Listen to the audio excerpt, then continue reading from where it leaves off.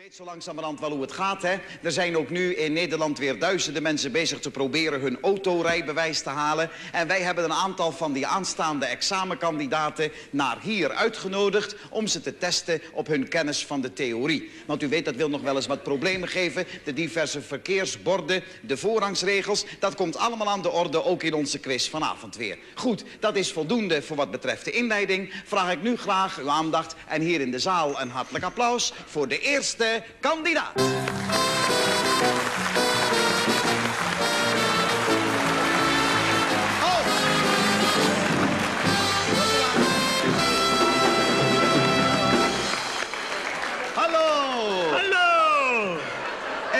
Dacht dat u van die kant af zou komen. Nee, dat komt zo. Eh, ik stond namelijk aan die kant, dus zodoende dat ik Ja, dus... het eh, hindert niet, het hindert niet. Gaat u Oh, lekker makkelijk zitten. Kijk eens hier in deze comfortabele fauteuil. Oh, Neemt u plaats. Ja. Maakt u het zich makkelijk. Oh, ja. Dat ziet er goed uit, hè? Ja. Zo, gaat u lekker zitten. Goed, eh, de camera's zijn op u gericht. De mensen zitten te kijken. Doet u Oh. net of u thuis bent. Kunnen ze mij zien al? Ja, maar dat maakt oh, allemaal niet uit. Doet u net of u thuis bent. Oh, eh, zou ik even mijn groenteboer kunnen zeggen? Die zit te kijken, mijn nou, groenteboer. even dan, even dan. Oh, moet je rode bloemkolen? Waar slaat dat nou op? Wa- wa- waarom zegt u dat? Hallo, meneer. Uh, kom zo. Mijn groenteboer die zit te kijken en die verkoopt Ja. van die hele kleine bloemkooltjes, hè. Maar op de ruit staat al de grote bloemkolen.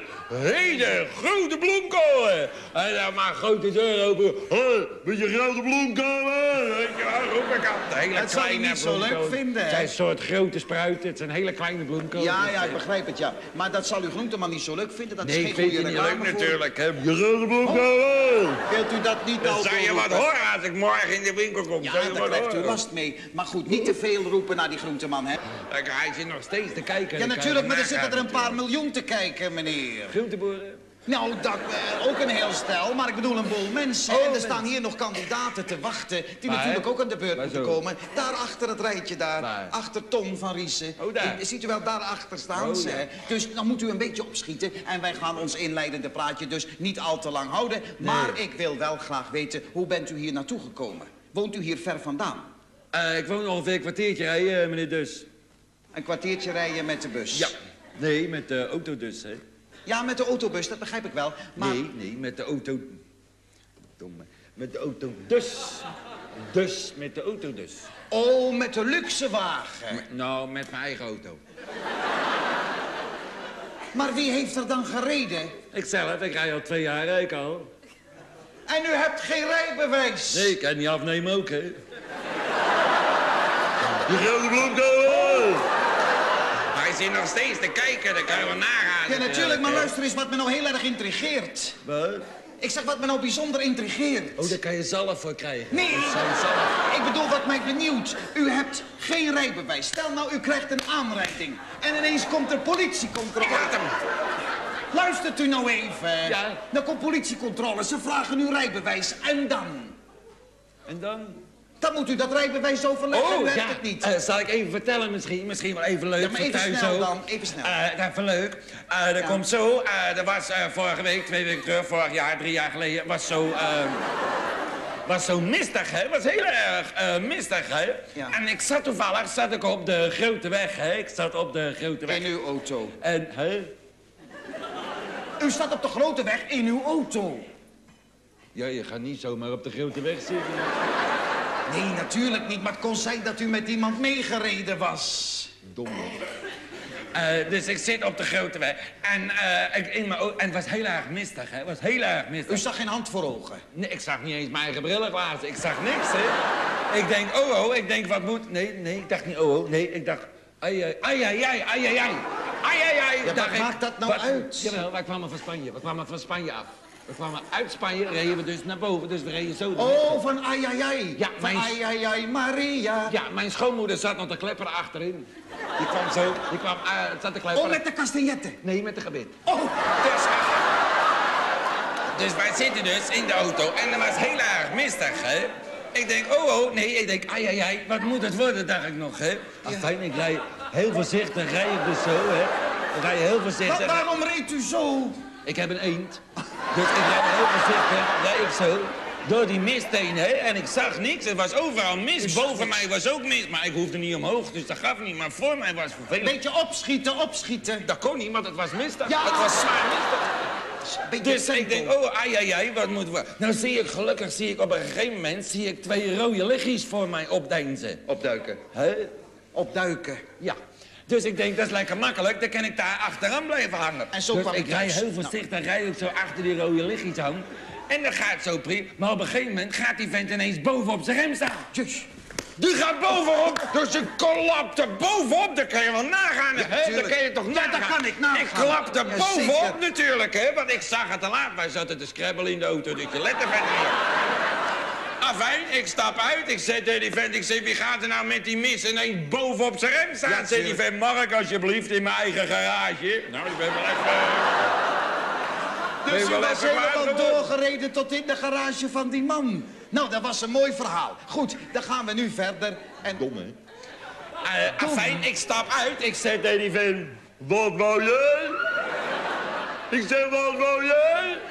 En ik pak die vent weg en ik ga met die vent aan de grond. En ik Kalm. zet hem nu.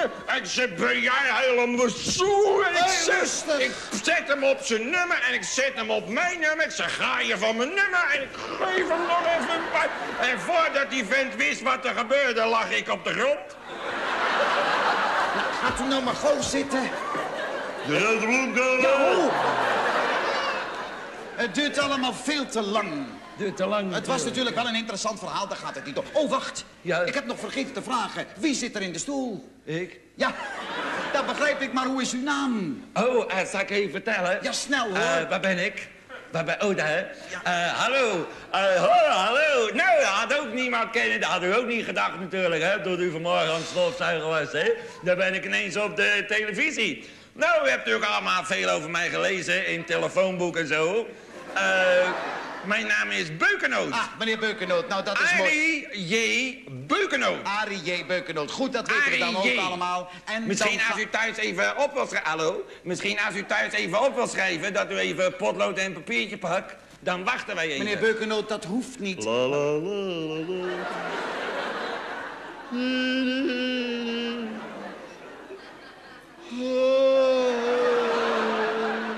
Waarom zit u zo vreemd te zingen? Dat de mensen even potlood en papiertje kunnen pakken thuis. Die willen mijn naam opschrijven. Waarom zouden ze uw naam opschrijven? Als ze mij willen bellen. Ik heb namelijk... Ik ben behangen. Zodoende. Als de Ja, nee, maar dat mag u niet zeggen, want dat is reclame. hè? Nee, maar het gaat mij niet om reclame. Oh, het gaat er mij alleen om als de mensen mij willen bellen... dat ze behang nodig hebben. Kennen ze Ja, maar dat is reclame. Is reclame. Ja, natuurlijk, dat mag niet. Dat spijt me heel erg. Maar daarom is het wel leuk dat ik even iets... Zonde, Mag niet. Zonde, hè? mag niet. Ja, het is jammer voor u natuurlijk, dat kan ik me voorstellen. Zonde natuurlijk. Ja, het is jammer. Maar goed, we gaan het wel even over uw beroep Beukenoot, de behangen, Ja, beukenoot. ja, oké, maar geen reclame, hè?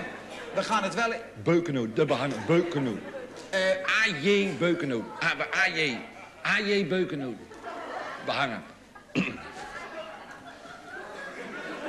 maar geen reclame, hè? Nee, natuurlijk, dat zou mij niet Oké, horen. oké, goed. We willen het wel even met u hebben. Uw behang is mijn belang. Ja, ho! Nou is het voldoende geweest. Ja, natuurlijk. Oké, ik wou alleen maar eventjes met u praten. Al is je kamer nog zo groot, geen probleem voor Beukenoot. Nou,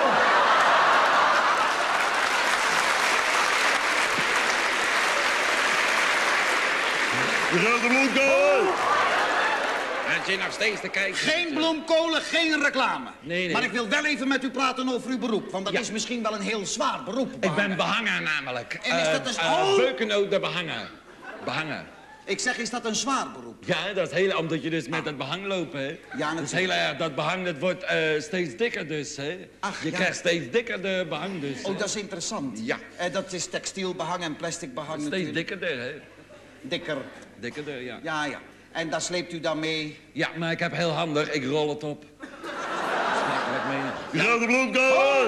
Hij zit nog steeds te kijken We zouden het niet doen, meneer Nee, Beukenoot. We hebben er geen tijd voor. Nog even, het is zwaar. U sjouwt met die rollen behang, dan nog die behangerstafel... en daar moet u dan nog mee trappen op en zo. Behang is dat? U hebt toch zo'n behangerstafel bij u? En als u op karwei bent, dan zet u die behangerstafel toch neer... en dan gaat het behang er toch op? Nee, het gaat tegen de muur. Ja, dat is logisch. Maar het moet toch eerst van tevoren ingesmeerd worden met stijfsel en plaksel. Oh, daarom zo de meter dat steeds naar beneden. Mogelijk. Nooit aan gedacht. Onmogelijk, hè? Meneer, maar hoe lang doet u dat werk eigenlijk al? Ik ga maandag beginnen. Daar was ik al bang voor, U was ja. bang natuurlijk. Maar goed, we gaan nu maar snel beginnen met de quiz, want we hebben al veel te lang gepraat. En u wil natuurlijk dat ons orkest voor u gaat spelen, nietwaar? Ik weet niet, gaat de kist spelen? Ja, natuurlijk. Als u een antwoord goed hebt op een vraag, dan speelt het orkest. Zo gaat dat bij ons in de quiz. Ja, Oh, natuurlijk. eh, hallo, heren, beneden. Eh, ik wou even zeggen, eh, als ik het goed heb, dan moeten jullie eh, spelen. Zal maar Dat zeggen. Als ik dus wel. een vraag goed heb, dan moeten jullie spelen. Dat ik is geloof al- dat jij ook mee moet doen. Natuurlijk doet de Moet je even aan hun vragen wat hun zo'n beetje spelen. Dan kan je misschien met hun eh, dat het een beetje aanslaat. Eh hallo, er zitten, daar zit er nog een, die heeft ook zo'n dasje om. Kan die misschien met jullie die een beetje mee... Ja? Zeg, hallo, ik heb het voor je versierd. Je kan met hun meedoen. Zal ik even vragen, wat, weet jullie zo'n beetje... Hallo, dat is allemaal al geregeld. En zij hebben de goede antwoorden op de lessenaar staan. Oh ja? Willen jullie wat drinken misschien? Nee! U mag ze niet opkopen. Dat kan niet natuurlijk, Natuurlijk niet. Dat zal Koen van Orsau junior ook niet goed vinden. Dat begrijpt u wel. Maar goed, we gaan snel beginnen met de eerste vraag. Wie? Zet u. Wie? Koen van Orsau junior, de leider van het orkest. Die zit daar. Koen van Oetzen. Daar! Die krijgt altijd applaus. Koen van Orsau junior. Zeg het nog een keer, misschien deze... Koen van Orsau junior.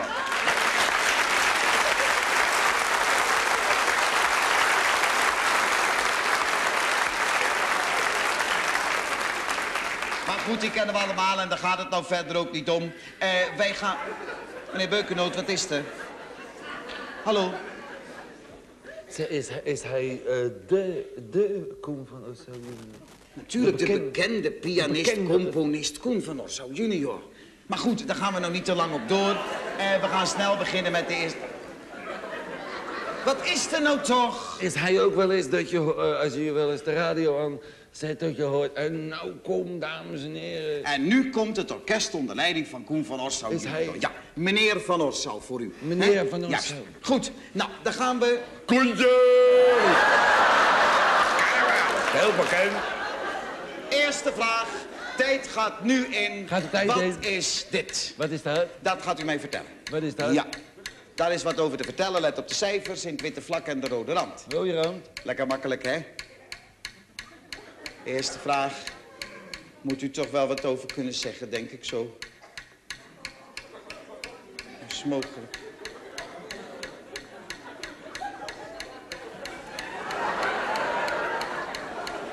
Eh, kan je misschien ietsje dichterbij komen? Dat ik even wat is nog ver. Ja. Ziet u het? Oh ja, rode rand. Ja. Oh, twee cijfers, twee. Oh, ik hoor. Tijd is al om. Oh ja, U moet het zeggen. ik moet het zeggen nou natuurlijk. Hè. Eh, maar ik even vragen nog. Is het van een Nederlandse schilder?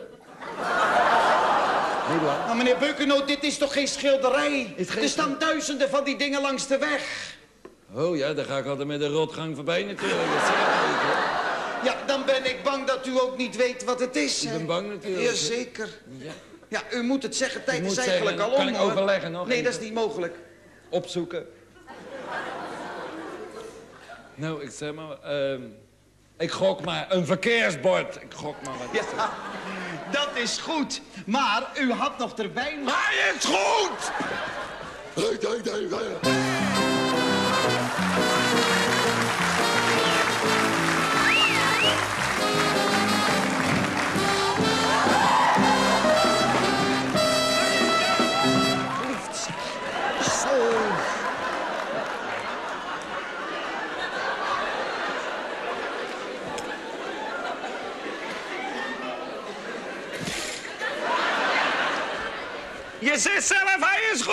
Ja, maar er hoort nog wat bij. Ja, er hoort nog een paal bij. Dat hoef je er allemaal niet te zeggen. Je hoeft er niet alles te Dat weet mijn opoe ook. Opoe! Nee!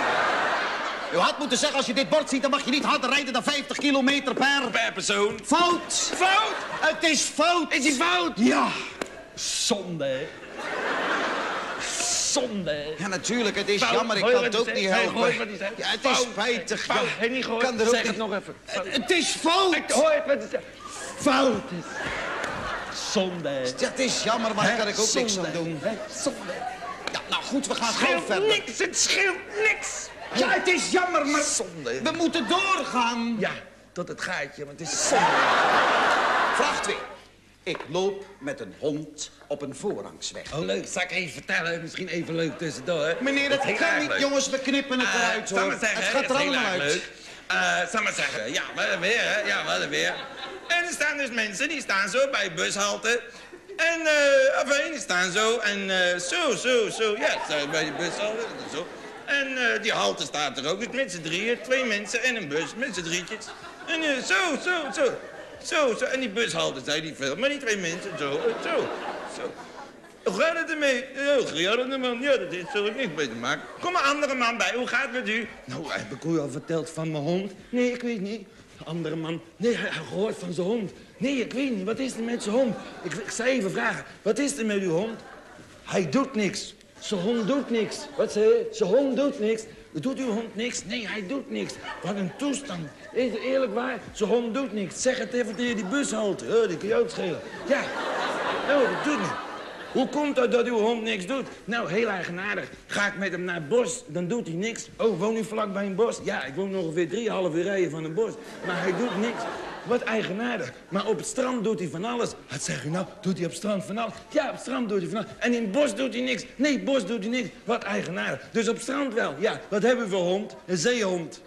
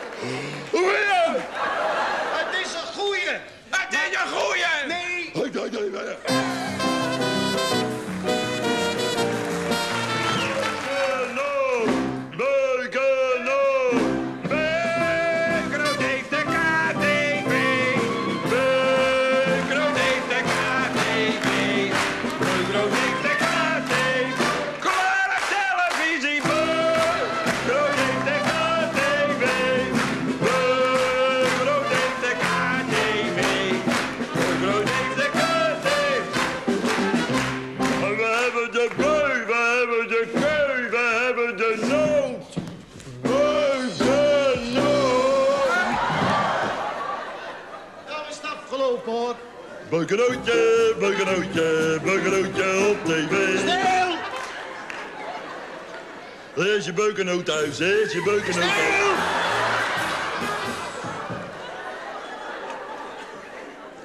Het is een vreemdeling zeker, die het was heeft zeker. Zal hem even vragen naar zijn naam. Het is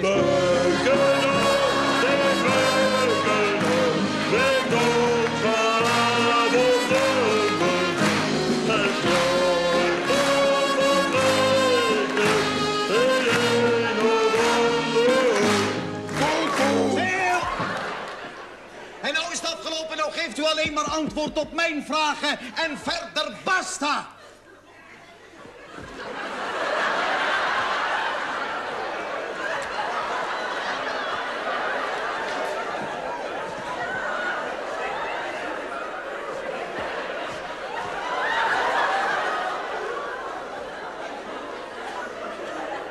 We zijn wel aan de laatste vraag gekomen. En de laatste vraag... Meneer Beukenoot. Hallo, wat is er? Meneer Beukenoot, wat is er? Een boos.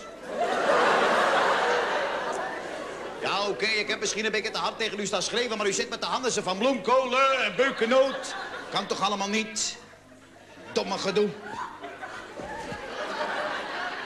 Nou, Oké, ik zal niet meer schreeuwen, dan zullen we verder gaan. hè? Zullen we verder gaan dan? Nou? Zullen we, zullen we verder gaan dan? Meneer Beukenoot?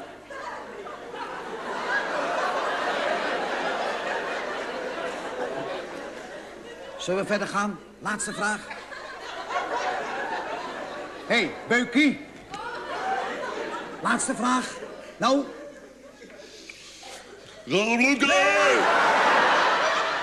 U zal niet meer schreeuwen. Laatste vraag. Dan staat de verkeersagent zo op de weg. U komt van die kant af. Wat doet u dan? Hij toeteren dat hij opzij moet. Fout! Fout! Fout! Oh, ik lijk wel dom. Oh. Maar ik heb voor u een troostprijs. Oh ja. Wie heb ik onder de witte knop? Willeke van Amelrooy. Hij Willeke van Amelrooy onder zijn knop.